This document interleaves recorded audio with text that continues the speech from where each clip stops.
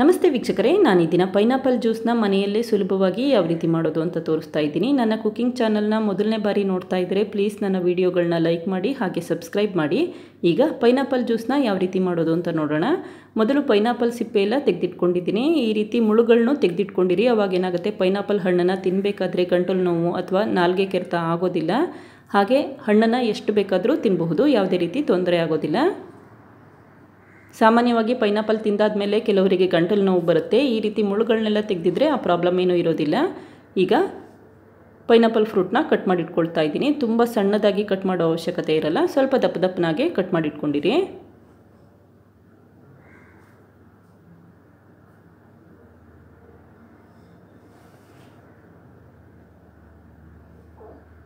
ಈಗ ಮಿಕ್ಸಿ ಜಾರಲ್ಲಿ ಸ್ವಲ್ಪ ದೊಡ್ಡದಾದ ಮಿಕ್ಸಿ ಜಾರ್ ಕೊಟ್ಟಿರ್ತಾರೆ. ಜ್ಯೂಸ್ಗೆ ಅಂತಲೇ ಒಂದು ಮಿಕ್ಸಿ ಜಾರ್ ಕೊಟ್ಟಿರ್ತಾರೆ. ಆ ಮಿಕ್ಸಿ ಜಾರನ್ನಷ್ಟೇ ಉಪಯೋಗಿಸ್ಕೊಂಡು ಜ್ಯೂಸ್ ಮಾಡ್ಕೊಳ್ಳಿ. ಸಣ್ಣದು ಅಥವಾ ಮಧ್ಯಭಾಗದ ಇರುವಂಥ ಮಿಕ್ಸಿ ಜಾರನ್ನು ಉಪಯೋಗಿಸ್ಕೊಂಡ್ರೆ ಜ್ಯೂಸ್ ಮಾಡಬೇಕಾದ್ರೆ ಜ್ಯೂಸ್ ನೀರೆಲ್ಲ ಹೊರಗಡೆ ಬಂದುಬಿಡುತ್ತೆ. ಈಗ ಮಿಕ್ಸಿ ಜಾರಿಗೆ ಕಟ್ ಮಾಡಿರುವಂಥ ಪೈನಾಪಲ್ ಹಾಕ್ಕೊಳ್ತಾ ಇದ್ದೀನಿ. ನಾನಿಲ್ಲಿ ಜ್ಯೂಸ್ಗೆ ಕೊಟ್ಟಿರುವಂಥ ಮಿಕ್ಸಿ ಜಾರನ್ನು ಉಪಯೋಗಿಸ್ಕೊಂಡಿದ್ದೀನಿ.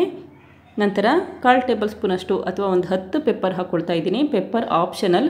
ಬೇಕನ್ಸಿದ್ರೆ ಉಪಯೋಗಿಸಿ, ಇಲ್ಲ ಅಂತಂದರೆ ಉಪಯೋಗಿಸೋ ಅವಶ್ಯಕತೆ ಇರಲ್ಲ. ಕಾಲು ಟೇಬಲ್ ಸ್ಪೂನ್ ಉಪ್ಪು ಹಾಕ್ಕೊಂಡಿದ್ದೀನಿ ನಂತರ ಎರಡು ಟೇಬಲ್ ಸ್ಪೂನ್ ಸಕ್ಕರೆ ಹಾಕ್ಕೊಳ್ತಾ ಇದ್ದೀನಿ. ಪೈನಾಪಲ್ ಹಣ್ಣಿನಲ್ಲೇ ಸಿಹಿ ಅಂಶ ಇರೋದ್ರಿಂದ ಸಕ್ಕರೆ ಪ್ರಮಾಣ ಕಡಿಮೆ ಮಾಡ್ಕೊಂಡಿದ್ದೀನಿ. ನಂತರ ಸ್ವಲ್ಪ ನೀರು ಹಾಕ್ಕೊಂಡು ರುಬ್ಕೊಳ್ತಾ ಇದ್ದೀನಿ. ಈಗ ರುಬ್ಬಿರುವಂಥ ಪೈನಾಪಲ್ ಜ್ಯೂಸನ್ನ ಫಿಲ್ಟರ್ ಮಾಡ್ಕೊಳ್ತಾ ಇದ್ದೀನಿ.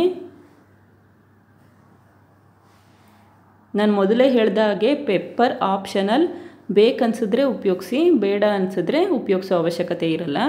ಕೆಲವರಿಗೆ ಪೆಪ್ಪರ್ ಪೌಡರ್ ಹಾಕ್ಕೊಂಡು ಪೈನಾಪಲ್ ಹಣ್ಣನ್ನು ತಿಂತಾರೆ. ಕೆಲವರು ಹಾಗೆ ಇಷ್ಟಪಡ್ತಾರೆ. ಹಾಗಾಗಿ ನಾನಿಲ್ಲಿ ಪೆಪ್ಪರ್ ಹಾಕ್ಕೊಂಡಿದ್ದೀನಿ ಅಷ್ಟೇ ಈಗ ಜ್ಯೂಸ್ ರೆಡಿಯಾಗಿದೆ ಇದನ್ನೀಗ ಗ್ಲಾಸ್ಗೆ ಹಾಕೋಬಹುದು.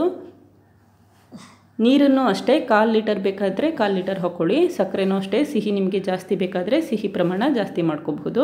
ನಾನಿಲ್ಲಿ ಕೇವಲ ಎರಡು ಟೇಬಲ್ ಸ್ಪೂನ್ ಸಕ್ಕರೆ ಹಾಕ್ಕೊಂಡಿದ್ದೀನಿ ಹಾಗೆ ಕಾಲು ಲೀಟರಷ್ಟು ನೀರು ಹಾಕ್ಕೊಂಡಿದ್ದೀನಿ ನೋಡಿದ್ರಲ್ಲ ವೀಕ್ಷಕರೇ, ಎಷ್ಟು ಸುಲಭವಾಗಿ ಪೈನಾಪಲ್ ಜ್ಯೂಸ್ ಮನೆಯಲ್ಲೇ ಯಾವ ರೀತಿ ಮಾಡಬಹುದು ಅಂತ ಗೊತ್ತಾಯ್ತಲ್ವಾ? ನೀವು ಕೂಡ ಪ್ರಯತ್ನಿಸಿ, ಥ್ಯಾಂಕ್ ಯು. ಲೈಕ್ ಮಾಡಿ ಮತ್ತು ಸಬ್ಸ್ಕ್ರೈಬ್ ಮಾಡಿ.